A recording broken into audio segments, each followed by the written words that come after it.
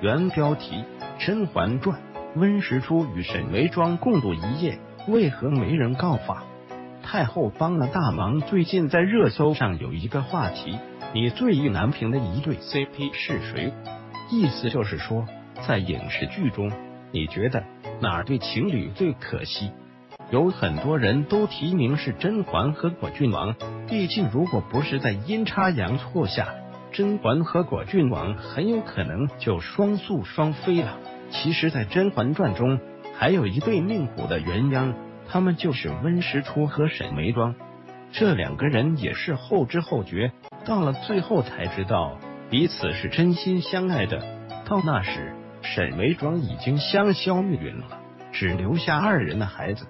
那么问题就来了，我们都知道，沈眉庄和温实初是在阴差阳错下。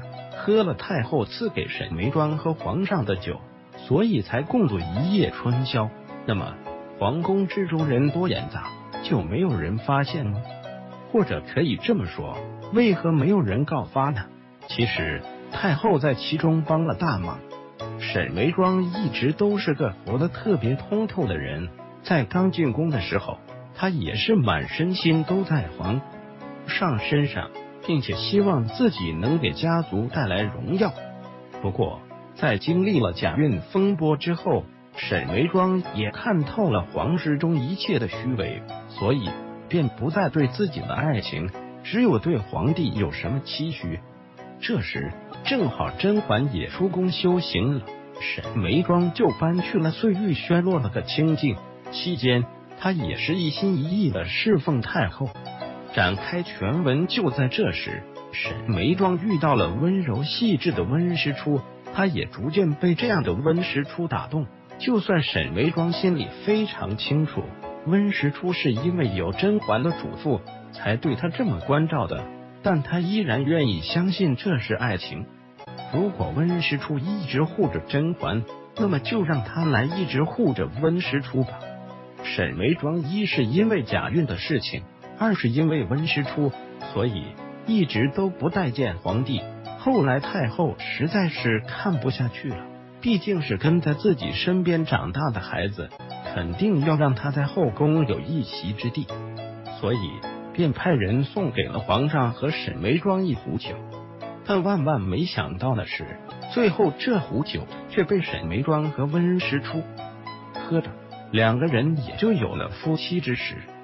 虽然在我们看来，温实初没有出宫这件事情，只有魏灵和彩月知道。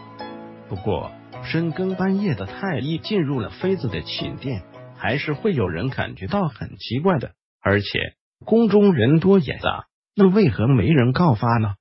其实是和太后有关。自从沈眉庄进宫之后，就深受太后的宠爱。可以这么说，别的妃子没有了皇上的宠爱，就没有了一切。但沈眉庄就算是没有了皇上的宠爱，在宫中还是拥有一席之地的。太后才是他最大的靠山。太后也这么说过，不管出了什么事，哀家一定会护着你的。就算有人想告发，也要顾及一下太后的面子。